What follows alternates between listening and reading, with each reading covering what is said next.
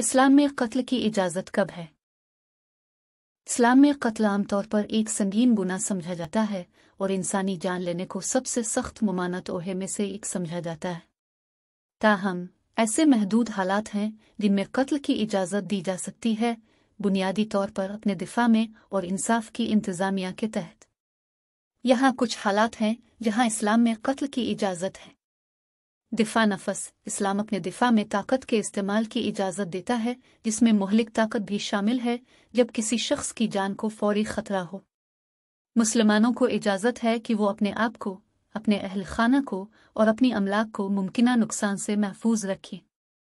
सिर्फ़ जन्म इस्लाम दिफाई जन्म के तस्वुर को तस्लीम करता है, जहाँ मुसल्ह तसादुम की इजाज़त अपने दिफा में आ जारहियत के ख़िलाफ़ मुस्लिम कम्यूनिटी का दिफा करने के लिए ताहम जन्म के अवकात में भी इस्लामी तालीमत अखलाकी उसूलों पर अमल करने की अहमियत पर ज़ोर देती हैं, जैसे गैर जंगजुओं को नुकसान पहुँचाने से बचना और जंगी कैदियों के साथ वकार के साथ सलूक करना।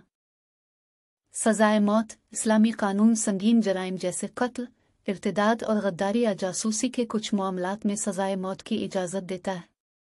ताहम मुलिम के जुर्म को शक से बालातर साबित करने के लिए सख्त सबूत के तकाज़ों और मुनासिब तरीक़ाकार पर अमल किया जाना चाहिए। ये बात काबिल ज़िक्र है कि उन महदूद हालात में कत्ल की इजाज़त सख्त शराइ और इस्लामी अखलाकी असूलों से मशरूत है। इस्लाम में इंसानी ज़िंदगी की कदर और कीमत का बहुत ज़्यादा एहतराम किया गया है और उसका बुनियादी मकसद इसकी हिफाजत और हिफाजत करना है। कत्ल हमेशा आखिरी हरबा होना चाहिए और इस्लामी तालीमत और कानूनी निज़ाम के ज़रिया मुतन करदा हदूद के अंदर किया जाना चाहिए।